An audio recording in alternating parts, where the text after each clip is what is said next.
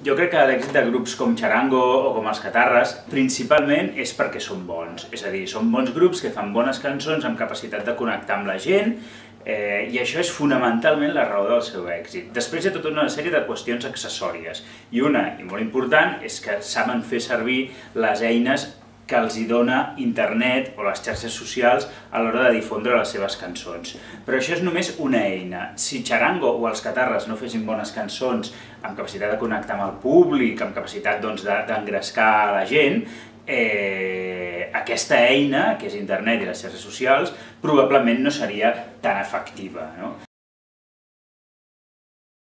Internet, Twitter, xarxes socials, Facebook, eh, a veure, les xarxes socials en general són una eina, no són la clau necessàriament. És a dir, tu has de fer servir totes les eines que tens al teu abast per difondre la teva proposta.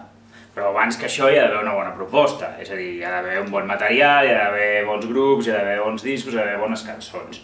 Després tens tota una sèrie d'eines. Una molt important és les xarxes socials avui en dia. Per què és important? Doncs perquè en temps de recursos molt limitats, de crisi, eh, eh, en què costa doncs, eh, accedir als grans mitjans de comunicació, són eines que, si sempre en bé, permeten arribar a molta gent i, a més a més, de forma relativament econòmica.